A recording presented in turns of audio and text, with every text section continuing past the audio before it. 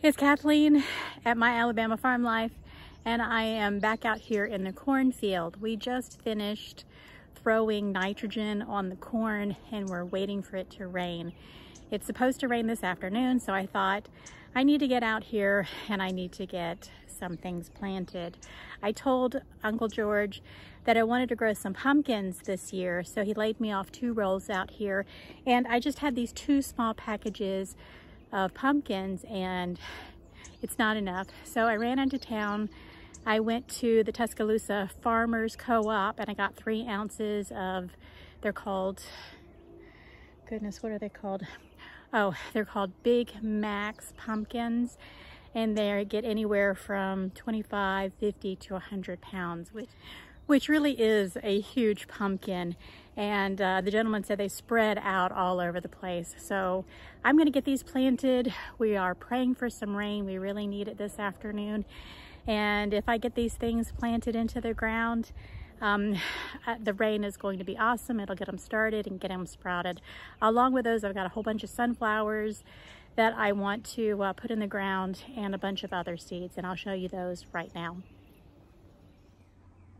I have three bags of seeds that I need to get into the ground. We harvested them about a year and a half ago. I also have two brand new packs of sunflower seeds that I may plant. I have this winter squash and I also have these jack-o'-lantern pumpkins that I want to use. I also want to put in some butternut squash and I also have some cantaloupes that I want to plant also. I ended up getting three ounces of seeds, the Big Max pumpkin seeds from Tuscaloosa Farmers Co-op.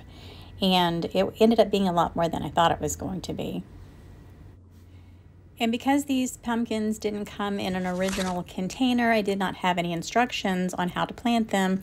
So I planted them the same way we planted our watermelons in the front field, which was three feet apart, two big handfuls of fertilizer, and I put three seeds in every mound.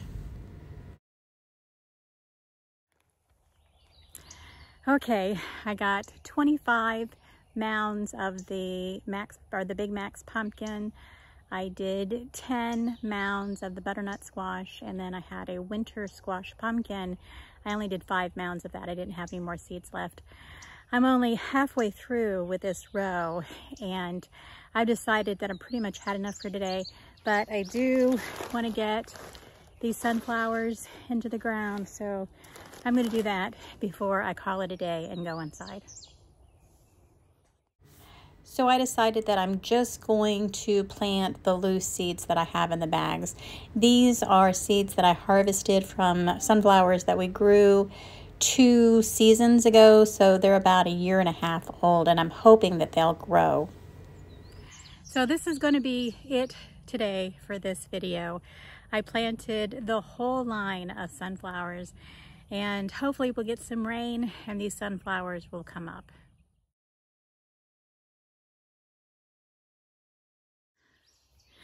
As you can see, um, it's the next day and I am back out here in the field.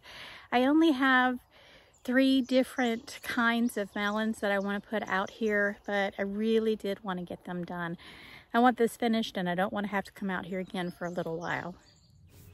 I'm going to go ahead and plant these Israeli cantaloupes, this jack-o'-lantern pumpkins that I didn't do last time, and Kajari melons.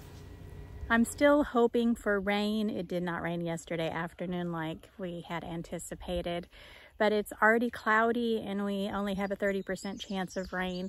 So I'm hoping today will be the day, the afternoon, that we get some rain and water in all these seeds. I ended up only having eight seeds for these jack-o'-lantern pumpkins, so I ended up making three mounds.